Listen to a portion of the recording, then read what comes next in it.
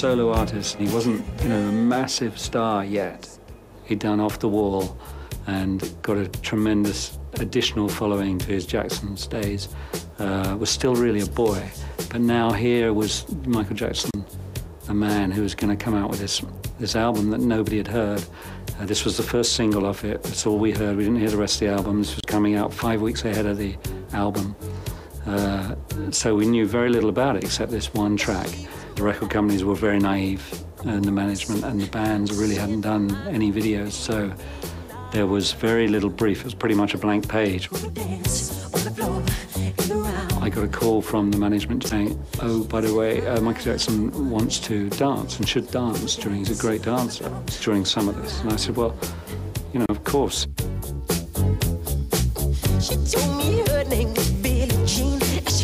What I wanted initially was to give him the freedom to improvise um, by having pressure points on the stepping stones so that anything he touched would light up.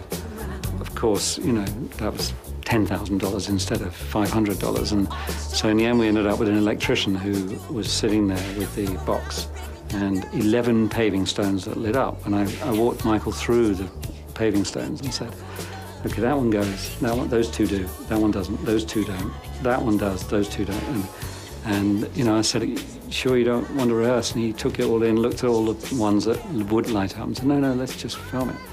So I got a handheld camera in front of him and uh, we played the chorus, and he just was amazing. And he just danced that his way along these stones that lit up, and this poor electrician was trying to keep up with the, the lights that came on.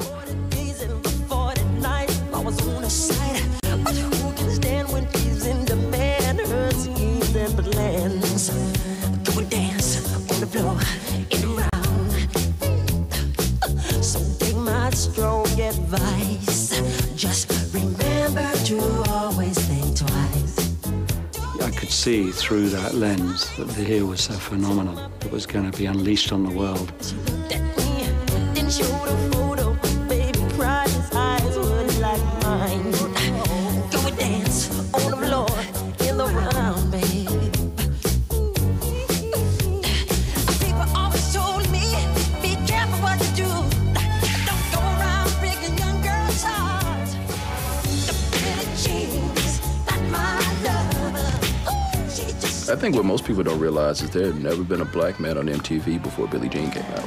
There are people now who still won't watch MTV because they remember when they would not let black people on MTV. There was a 10-day period where that was very much in question. MTV could have said no, because um, their, their position was that it was the wrong genre of music initially, and that was their get out. And then once it was on, it was in heavy rotation the whole time. You know, if you don't play Michael on your thing, how big is your station gonna be? Come on. Michael was the first person to put big budgets into music videos and really look at them as promotional tools in and of themselves, which made MTV so much more entertaining now because people had to keep up with what Michael Jackson was doing. And it made it to where MTV became as essential as it is now into the world pop landscape because if you don't have a video playing on MTV, you can't sell records anymore. And I think that's directly attributable to Michael Jackson because he just completely changed what people thought the video could be.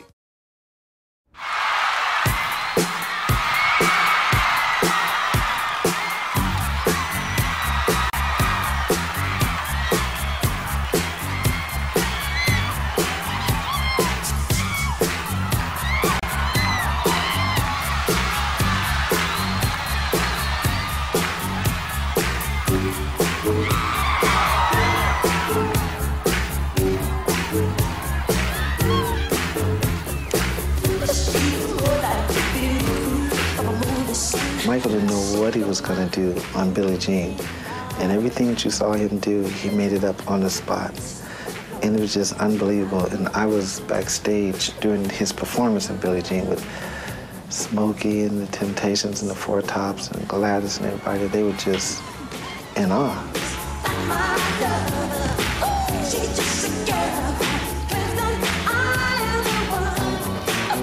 Every person who had ever had anything to do with Motown showed up that night. Everybody. When he performed Billie Jean, that was it. I mean, the only thing to do after that was the finale.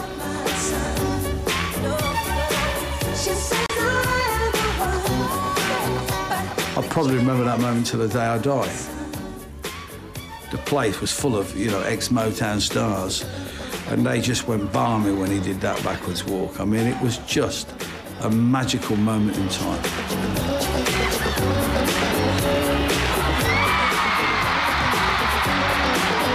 It became the seminal moment of his television career. That night, he crossed over into a whole new audience.